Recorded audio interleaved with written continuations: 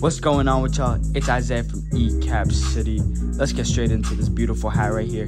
You guys see it. Buffalo, Bisons in that two-tone action. A nice dark gray visor, almost graphite, with a nice stone upper. Let's get to this logo, man. Look at that. You see it glistening right there? Go outside in the sun, you're gonna be shining with it. You see those colors? Blue, gold, and red. And look at him, man. He's shining with you. Let's get to this back tab.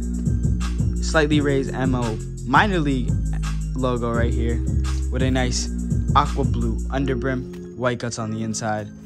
And this hat is 100% polyester and was made in Bangladesh. Bro, do I even have to say anything? You guys ask and you shall receive. Look at this logo right here. Let's get one more shine. Oh my god.